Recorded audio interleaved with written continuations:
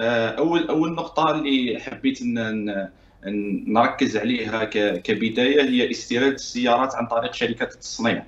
لأنه لأنه أنا مانيش متفائل كثير بقرار أقل من ثلاث سنوات كما قرار استيراد السيارات عن طريق شركات التصنيع. لسببين. السبب الأول الضريبة.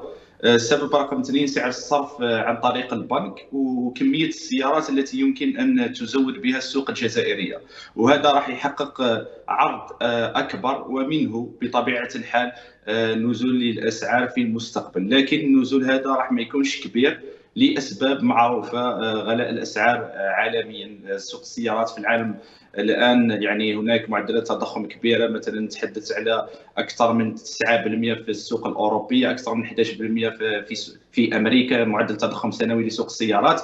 فأكيد بطبيعة الحال راح تبقى السيارات سعر السيارات في الجزائر راح يبقى مرتفع لكن مش بالطريقة هذه اللي نعتبرها تقريبا جنونية.